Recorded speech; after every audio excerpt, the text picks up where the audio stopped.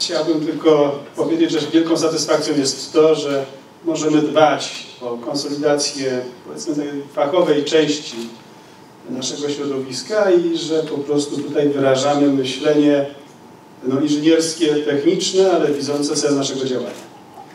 E, drogi powiatowe, zresztą popatrzmy sobie na materię, o której obradujemy.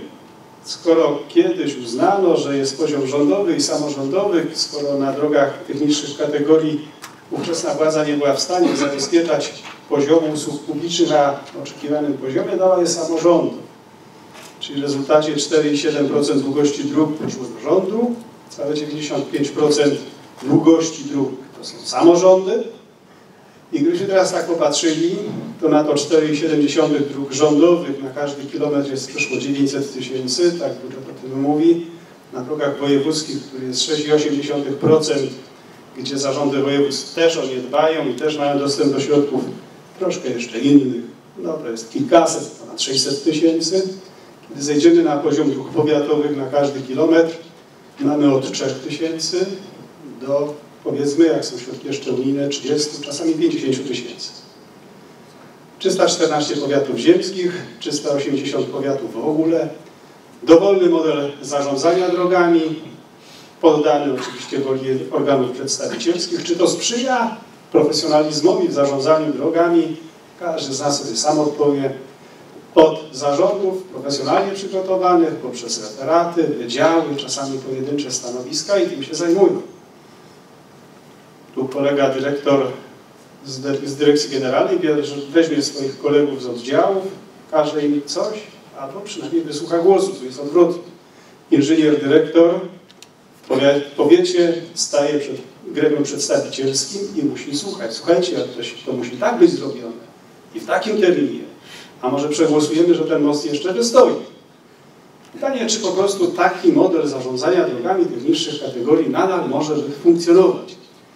E, jeżeli drogi wszystkie tworzą jedną, spójną sieć dróg publicznych, skoro zarządca dróg powiatowych również jest rozliczany za te same kryteria przygotowania inwestycji, bezpieczeństwo ruchu, spełnienia wszystkich wymogów środowiskowych i technicznych, a nie ma na to środków, a to są środki publiczne, to nie wolno o tym nie mówić.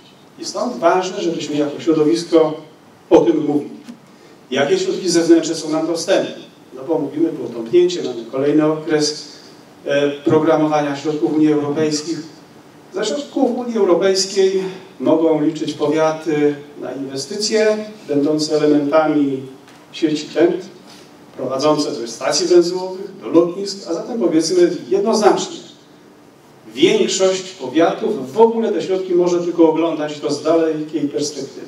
Nie ma szans na to, żeby do nich dojść jest tak zwany program rozwoju obszarów wiejskich, gdzie jest po 3 miliony na jednego beneficjenta na cały okres programowania. Jest.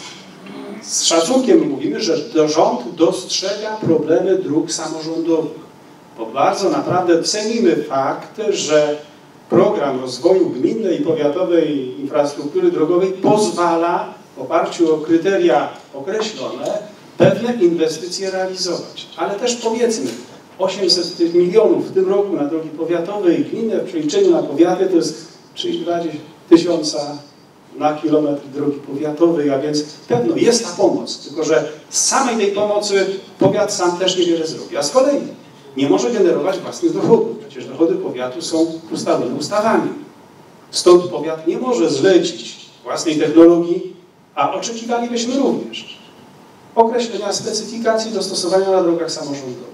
Wcale nie musi być taki, tak samo przygotowana specyfikacja jak na drodze krajowej, nie muszą być takie same materiały. Ale powiedzmy, kto dla powiatów to zrobi? Pojedynczy powiat to zbyt mało. Ale to tyle wiadomo. Jesteśmy rzetelnym płatnikiem, musimy zrobić inwestycje szybko, ale skoro już je podejmujemy, płacimy wykonawcom. Ten rynek jest szalenie bogaty do zagospodarowania. Większość dróg powiatowych spośród tych 125 tysięcy kilometrów dróg powiatowych jest do, mówiąc nieładnie, do zaorania, do zrobienia. Trzeba je poprawić. Bo każdy z nas kilkakrotnie na dobę przejeżdża drogą powiatową bądź gminną. Z autostrady korzystamy okazjonalnie. A mówiąc o standardach utrzymania, my na drogach powiatowych również musimy montować ekrany. Również musimy budować pełnowartościowe mosty. Teraz zarówno ekrany, jak i inne rzeczy wymagają utrzymania.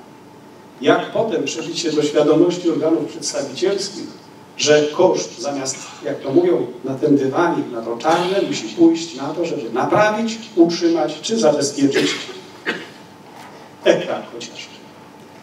Bardzo dziękuję jeszcze raz za udział w obradach. Liczę, że będziemy nadal jednym głosem mówić i dbać o właściwy poziom sztuki inżynierskiej inżyniera drogowca. Pięknie dziękuję.